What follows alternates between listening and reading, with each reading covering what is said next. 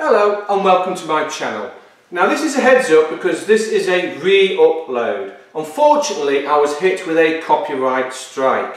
Now I contacted the YouTube channel that hit me with this copyright strike and I tried to explain to them that I wasn't actually um, stealing their work and I wasn't trying to claim it was my work and I in fact put a credit in the corner I put a credit at the end of my video in the, in the credits and I put a link in the bottom down below in the comment section on YouTube. So I clearly wasn't stealing their uh, content, but they wouldn't have it and they wouldn't remove the copyright strike.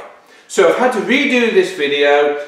I've deleted their scene and put a different scene in its place. And also I've decided I've unsubscribed from that channel I shan't be watching any more of their content because what's the point? Because if I watch one of their videos and think, oh that's good, maybe I should put a clip in my video so you lot can watch it and maybe you want to go to their channel and subscribe to their channel, well there's no point because I'll just get hit with a copyright strike. So anyway, I've babbled on long enough, sorry for that. This is a re-upload, you can click off now if you've already seen it. If not, roll credits.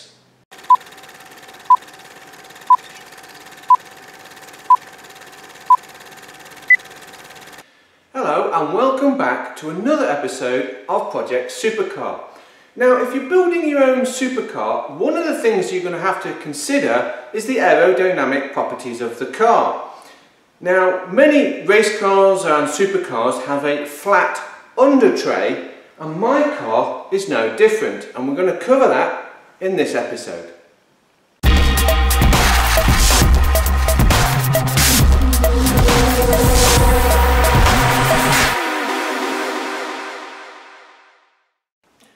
Before we go into the under tray on this car, I just thought I'd let you know that when I was building this car, YouTube didn't really exist and I had no intention of doing a YouTube channel.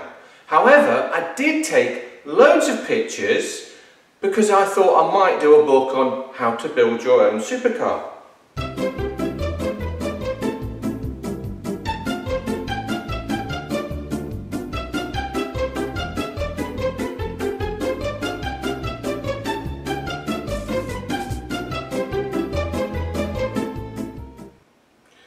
Now, the idea was, uh, when I started doing these videos, was to incorporate some of these photos into the videos and show you how I built this car. But uh, I put some, I have put some photos in there, but I keep forgetting. So um, I think what we'll do is I'm going to put some images on the screen now and we'll just have a recap from the last episode when we were doing the steering and the front suspension.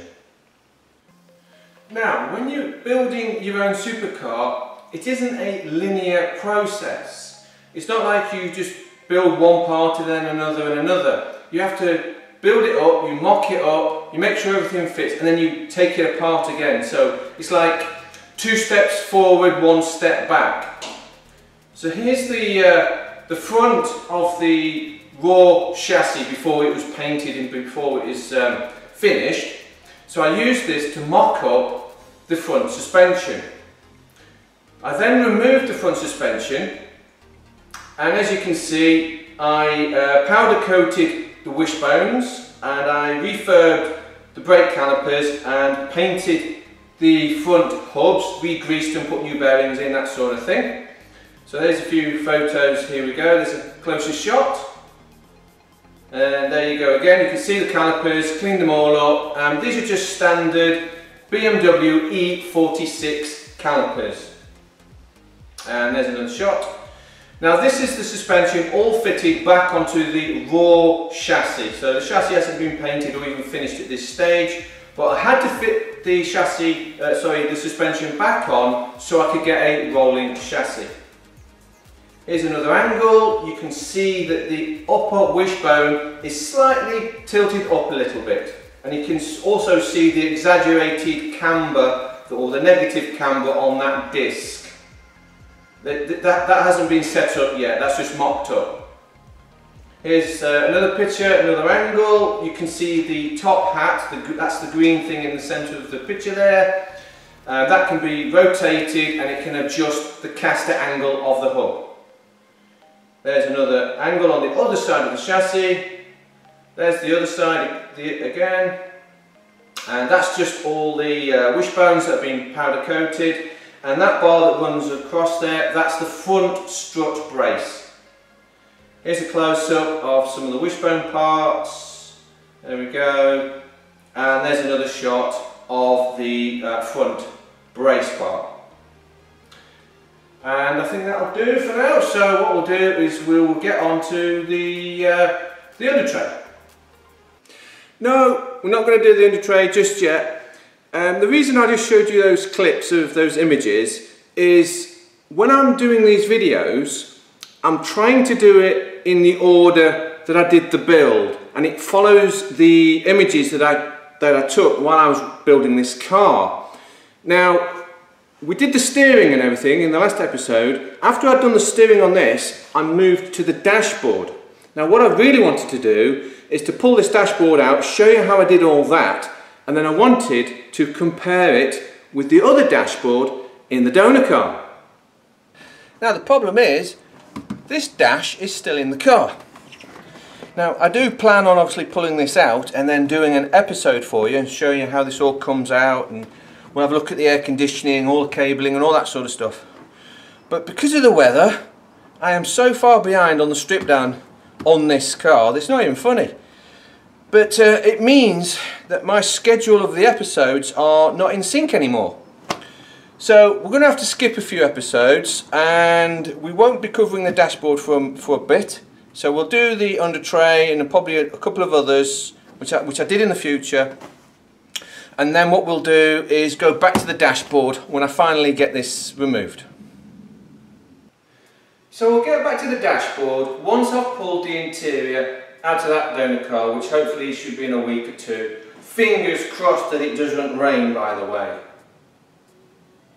Now, when I was designing this supercar, there was a couple of design elements that I wanted to incorporate. Um, I wanted a completely flat under tray or floor on this thing for two reasons.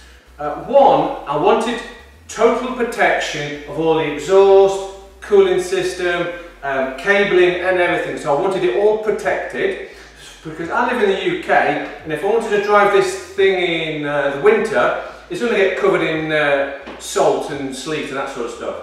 So I wanted an under tray that would protect everything under the car and I also need it for aerodynamic properties because I want it to be super smooth under here so it doesn't cause any turbulence like this video explains. The iconic Porsche 917 was born. Its birth was not without its share of difficulties. Early on, it was plagued with aerodynamic instability. This new formula of high power and low drag was a new concept to Porsche and it took them some time to perfect it. But they gradually reprofiled the bodywork and the 917 began to dominate races in the early 70s. This progression hit a boiling point with the accidental discovery of ground effect with the Lotus Type 78. During the development of the Type 78, the head engineer, Peter Wright, and his team were experimenting with prototypes of a new design for aerofoil side pods in the Imperial College London wind tunnel. Over the course of the day, the rudimentary prototype wings began to sag towards the ground of the wind tunnel, and to the amazement of the team, there was a huge increase in downforce. Initially, they didn't understand what was causing the increase, but soon discovered that by adding cardboard skirts to the side pods, air was being forced and trapped beneath the car. And as we discussed in previous videos, when air is forced through a constriction, it experiences an increase in speed and a decrease in pressure. This is called the Venturi effect. They later developed these brush skirts that sealed the air under the car, which were later replaced with rubber skirts.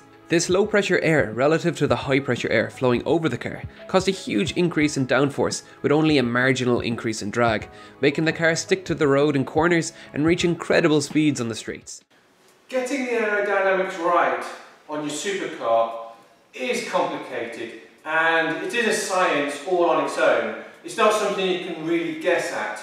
Now, hopefully, in the future, if I have the money, then I would like to take this thing into a wind tunnel and tweak the aerodynamics of this car and make sure it's pretty good. Um, I would like to put a rear wing on the back, but for now I've decided to leave it off because I can't really test it. I don't really know if it will actually work.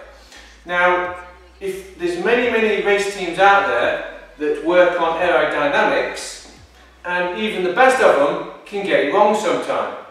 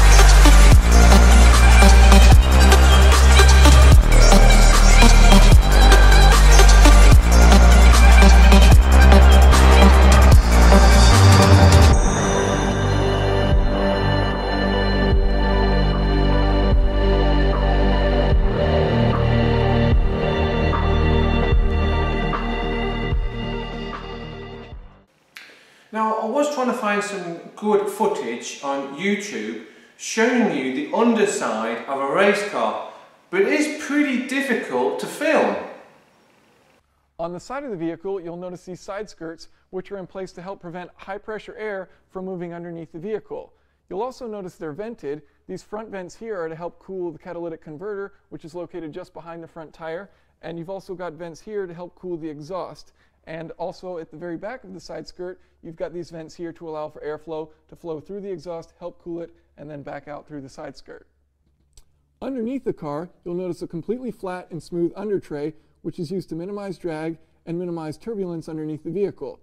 All of this air eventually exits through the rear through the diffuser, which is used to maximize the pressure differential between the top of the car and below the car.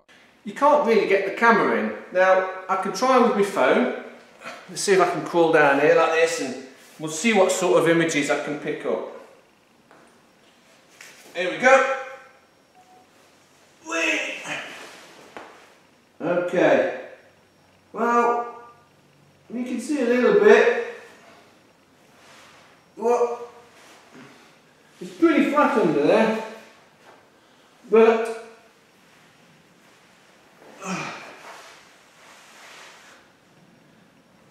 but I think you guys want to see a little bit more than some shaky cam done on my camera. Now because I can't really get this car up in the air and show you the under tray, I'm going to show you a series of photographs that I took when I was building this car. So the whole chassis was mocked up and then stripped and then it was painted. As you can see the chassis is completely bare. Uh, I just painted it with hammerite just to protect it so it wouldn't rust. Um, this is the prototype chassis so I might have to grind some of this paint off to weld on some um, added parts. Now you can just about make out in this shot uh, a series of aluminium panels. There we go. It's um, laid out on my living room floor. So these are the panels that are pop riveted and also bolted to the underside of this car. There's the chassis upside down in my garage with some of the parts, some of the panels have already been pop riveted onto the underside of the chassis. These are some nut rivets. This is the underside of where the engine goes. Here's another shot of the uh, area where the uh, engine lives. Here's another shot. Now, those two tubes you can see there, they are coolant pipes and they run down the centre of the car. Now, the problem is, is if I fit those tubes into the chassis and then I pop rivet an aluminium panel over those tubes, I can't unbolt them if I ever need to remove them. So I had to make the aluminium paneling removable. Uh, this is the mounting bracket for the gear lever. Now we'll get into gear changes and all that sort of stuff in another episode. Um, so we'll just have a quick sneak peek of the gear lever. That's, on, that's another photo. There's the gear lever upside down. Um, we'll touch that in, another episode.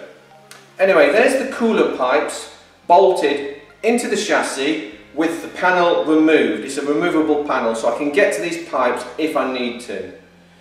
There's the uh, bolts close up. There's another shot. Remember this is the chassis upside down. And more, more shots of, the, of those bolts. There's the coolant pipes. That's just poking into the engine bay area. That's the uh, engine mount, obviously upside down. And just another angle of that engine mount. Now you can see all the pot, pot not pop rivets, uh, nut rivet inserts, which I put into the chassis. There's the panel that covers the cooling pipes and it's bolted into place. There it is from another angle. And there is the engine bay under tray, which is removable. There's another angle, looking at it a bit lower down. And there is even lower. You can see that the, the, the bottom of this car is totally flat. Oh, and there, that's the panels mocked up before any pop riveting was done or any drilling was done at all. So that's just making sure all the panels fitted before I did any drilling. And then we are back at the chassis. So yes, this has a complete flat under tray, so it's good for aerodynamics, it protects the uh, mechanical parts of the car, parts of the under tray are removable and the rest is pop riveted and also sealed for weather protection.